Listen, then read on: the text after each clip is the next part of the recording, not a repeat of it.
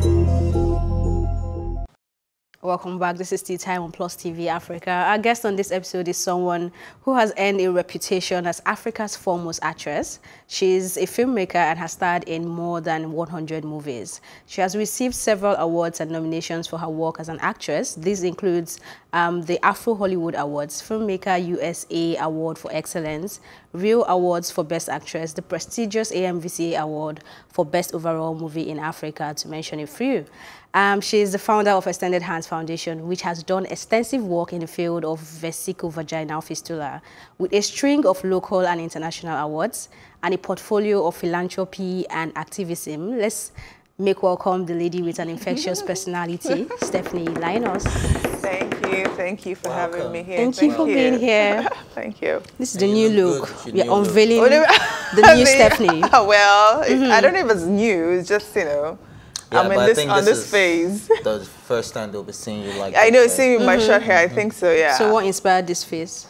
No, it's not a face. It's just that I used a product that sort of like damaged my hair because my hair was actually long and I shaved it all off and I'm growing my hair back. It's as simple as that. Oh, so really. you're growing Great. it back. Yeah, I don't need. Well, I love hair. I'm growing it back, so I'm Oh, rocking it. good. I think it's refreshing because I will tell you I just wanted to embrace my natural state and go team natural. So, so I admit that your hair had issues. no, Like- no, no, no, no. It's, no, no. It's not. That issue. no, but it's also embracing your natural Hmm. self. I think that is also part of it, and why I because it was really low when Mm-hmm. I showed it, but why I put it out on social media is if you can see me in all my hair and extension, why wouldn't I come out here looking as natural to you? So I'm embracing all of that. you And you're looking good as well. Thank you. Okay. And it's Team Natural, yes. Mm-hmm. My hair is natural. okay, Stephanie Linus has just launched a campaign tagged Hygiene First. It seeks to put hygiene at the center of our national culture. Take a look at this video. When we do the same thing over and over again, it becomes more than just a thing, it becomes a habit. That habit that made you to ignore that dirty bathroom, to eat with unwashed hands, to throw trash on the street is definitely going to affect you and then me and then all of us until it becomes our problem. Every day we make different decisions that seem small at first but have huge consequences on the quality of our lives. That change you want to see, that dirty place you wish was clean, only gets better when we all do our part. Good hygiene lowers the risk of diseases and illnesses commonly spread through viruses and bacteria. As you can see with COVID 19, making a conscious effort to practice good hygiene can actually save lives. Good hygiene will help our family stay healthy and make us feel proud of the place we call home, our state, or our nation.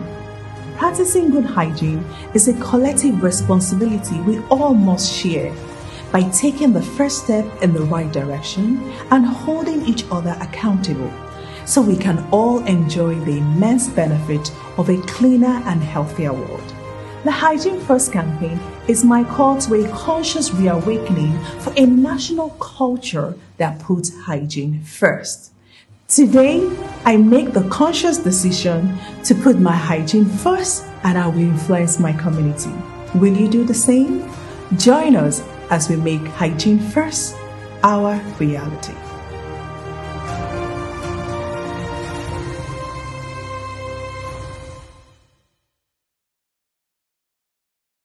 Okay, that's amazing. Thank you. so tell us about Hygiene First.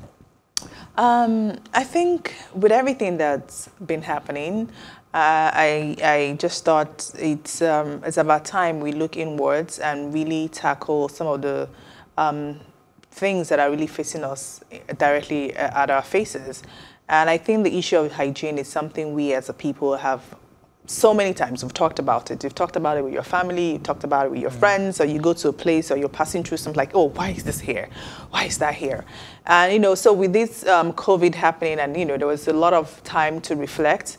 And I just noticed that, you know, there's certain things that we have the power as a people to change. That it starts first with you and I making a conscious deci- decision to say, okay, I want to do better with my hygiene. I want to do better with my environment and the people around me because it's not just for anybody. First of all, it's for my own health and for also the people that I care about. Mm -hmm. And then with that, it's kind of like translates into the environment because now you're more conscious about what happens to the next person. Just as you're trying to protect yourself, you also want to make sure that the other person is protected. So looking at our environment, I just feel that there's certain things, yes, government has a lot to do, but there's a lot of role that we need to play mm -hmm. as a people. Because there's a conscious effort, you driving in the car and throwing out the trash, mm -hmm. it's the government wasn't there, but it's you as an individual that made that decision to do that. So mm. you can as well make a better decision to keep it in your car and trash it properly. I like that you said uh. that because I was going to ask, sorry, what yeah. are some of the subconscious attitudes that you've seen us um, reliving over and over again that you yeah. wish that um, we can change? yes, uh, there's a lot. Just like I mentioned the car one, and you know, we saw this viral video of someone washing fruits in the mm. gutter, and yeah. it, I think that kind of like put me. I'm like, whoa, no way. There's something fundamentally wrong with our heads. That's I think we need to be more aware, more you know, to know that whatever thing that you do look at the consequences. It affects the next person. It affects your environment. So you're becoming more tactful in some of the decisions that you make, and it starts with you. So we just felt that having this hygiene first campaign, you know, my new habits for, you know, just give it a new lease of people feeling, oh, I need to, you know, they say cleanliness is next to godliness. Mm -hmm. You know, I need to take care of my environment. Since because religious, so we can as well be uh, clean. Clean, yes. Mm -hmm. So I'm, and then you feel happier when you you come in a clean environment or you do tax. You feel, oh, my space is clean. It clears your head. It makes you to think well and all of that. And also in the long run, it helps with our maintenance culture in Nigeria. So I just felt activating that in a funky, fun way and, you know, getting people to see it's all of us. It's not a Stephanie campaign. You have you take it as your own responsibility or the things that you need to do to better your environment. You know, take on the initiative and, and, and apply it to yourself and uh, to your family. That's, that's amazing. But um, for the people that are not on social media or do not even have televisions, what extra measures would you be taking to make sure they get this message about hygiene? Oh, we we have series of programs that we've laid down um, to do. And why we put out this video, because everybody's locked down and nobody's going anywhere. So we needed to put out this video to educate people. And, but we have uh, a lot of programs we're going to be doing on radio and TV and so many other activities that we're going to get the community to participate and take mm. ownership of. Because the main thing is for them to take ownership of this idea and run with, with it and even do great things with it. So uh, we have a lot of programs that things we're going to do that we're going to take it down to, from the grassroots to the middle to oh, almost right. everybody. Yeah. I, I think this conversation you're having, I mean, it's amazing, it's commendable, but I don't think this is the first time that we're having this sort of conversation. So what do you think we should do differently with this campaign to ensure that, like you said earlier, there's something fundamentally wrong upstairs, I think, yeah. actually let's just look at Nigeria as yeah. a whole. So how do we begin to get them to understand it? Yes, they hear it, they agree, but how do they understand it to imbibe it into their own way of life? I think the, the idea also came in timely because we've seen with COVID that just a little disease, just by practicing the basic thing can actually help save okay. your life. Mm -hmm. So do you want to be running to the hospital all the time? Or do you want to keep your safe hygiene so you save money? You don't have to find yourself going to the hospital getting sick, you know, because there's so many communicable diseases that you can actually prevent by keeping your environment clean. So I think with the COVID and the fear of that kind of like made everybody more open, mm -hmm. you know, sometimes there's a hospital I went to before, they weren't as clean as when I went back. Oh, wow. so I like, okay, there's an awakening a of hospital. something. So I think people are more open because of what has happened and they could see that this virus just stopped the whole world. And by doing basic things, we can, you know, be safe.